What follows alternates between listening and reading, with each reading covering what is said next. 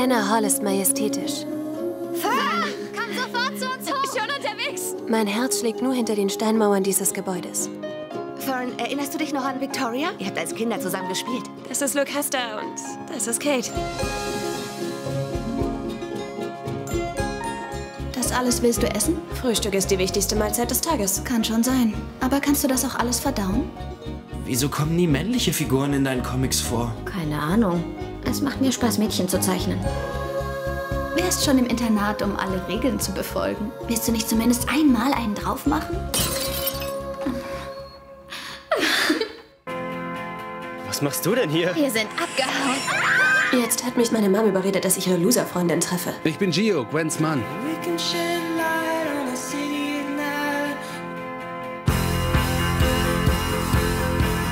Ihretwegen fliegen wir hier noch raus.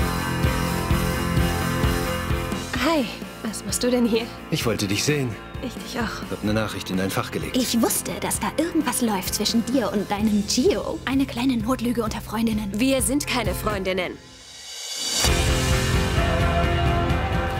Hier ist genug Platz für zwei. Ich freue mich, dich auf meiner Etage zu haben. Es ist nicht deine Schuld, sondern meine. Ich habe noch weniger Verständnis für Menschen, die lügen, als für Menschen, die Regeln brechen. Du hast uns das eingebrockt und du löffelst das auch wieder aus. Bittest du mich etwa, dir zu helfen? Gib her!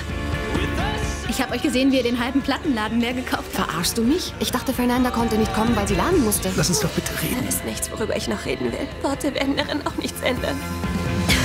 Alles, was irgendeinen Wert hat, ist sowohl erschreckend als auch schön. Zum Beispiel, wenn man zum ersten Mal in seinem Leben etwas tut, von dem man weiß, dass es falsch ist, aber man tut es trotzdem.